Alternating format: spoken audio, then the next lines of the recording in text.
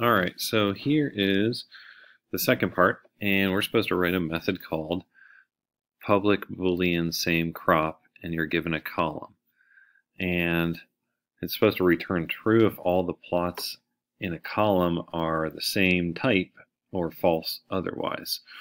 Um, so, for instance, if you said same crop 0, so this column, then it would be false because there's a mixture. But on the second one, it would say true um, because they're all corn. So when you do this one, the good news is you already know what column you're in. So you don't have to go through every column. You're just going through uh, the rows in that column. So when you do your for loop, um, the nice thing is you just, you know, you already know the column. So I only need one for loop. I don't need the double for loop. And similarly, you're going row is less than, oh, what was that thing called again? Farm plot dot length.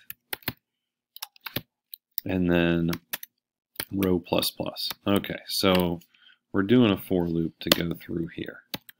We're going through each row. And what do we want to do? We want to see if the crop in each row is going to be the same. So probably the first thing I should do is find out what crop type is the very first item in this column. So we're going to say, um,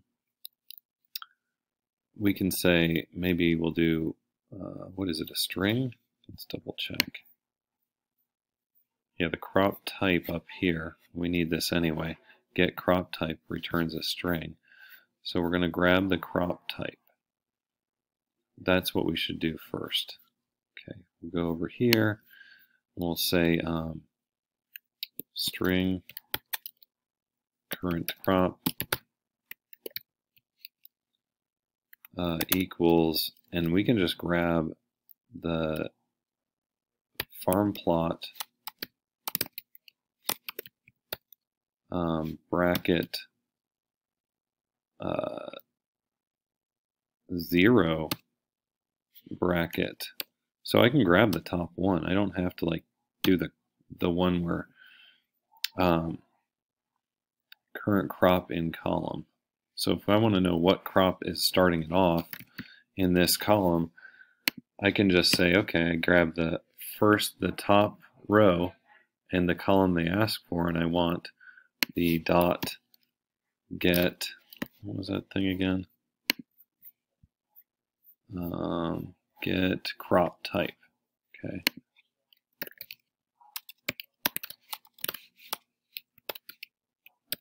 So what this will do is it'll say, okay, if the first one's corn, it's going to say corn. It just grabs this. Um, that grabs the top one. If it if they ask for column two, um, it would grab peas. So it's basically grabbing the string for the one you start on. and then you're going to go through the next row down and um, maybe, well, let me think about this for a second. Maybe I want this to actually be outside the for loop because I don't want this to change. They already gave me a column and I'm thinking about it. I want, I already want this whole column to be the same. I don't want to keep changing what my um, current crop type is being checked for. So let me move this above the for loop. Yeah, that's better because now they give me a column. I grab the top item and I say current crop. Maybe I should say current crop type we're checking for.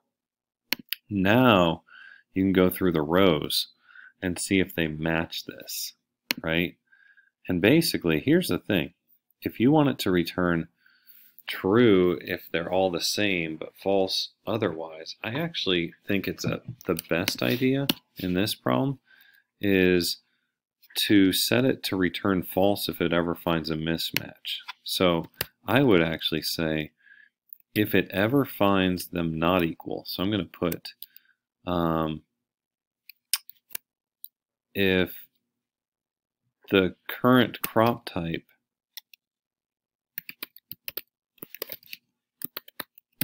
is ever not equal to, so say dot equals, right? If current crop type dot equals um, the one you're on, which is farm plot uh, bracket row, because it's going to go down each row, and I already have my column from up above. They entered it. Um, so this call stays the same. It's that one. So that, let's say they said column 2.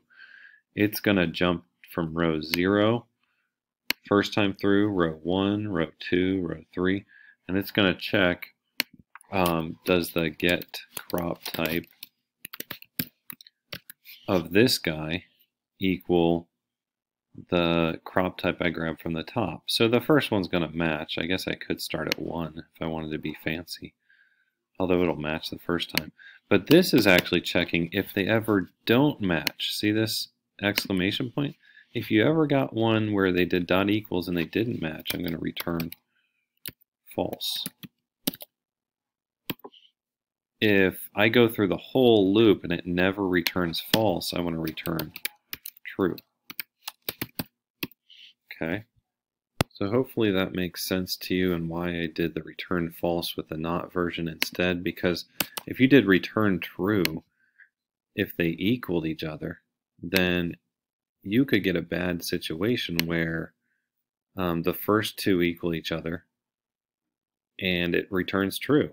So you actually want, you want to only detect when it returns false or when they um, don't match and return false. And only if they make it through the entire for loop, which is, you know, it's not that long because you already picked this row or you pick this column. Let's say I pick this column.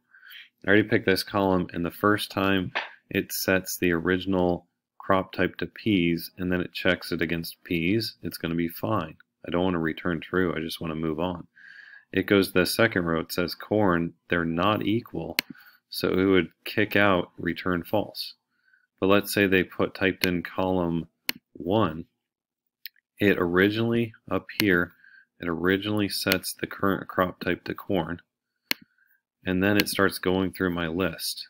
Really, I could just make this a 1. Why not? And because I already took care of the 0 one. And then it says, okay, now the now I'm on row 1. And notice here, you're row 1, column 1. So that would be right here. Does this equal corn when it gets the crop type? Yes. It moves on. Does this equal when it gets it? Yes. Does it? Does this equal? And if they all equal, it is passed through this without ever hitting the if. So it won't return false and it'll finish the for loop and then return true. So that's kind of tough, but hopefully, you know, you look at the grading guide and, um, you know, check if you can scrap out any points. All right. Oh, good times. Talk to you later, people.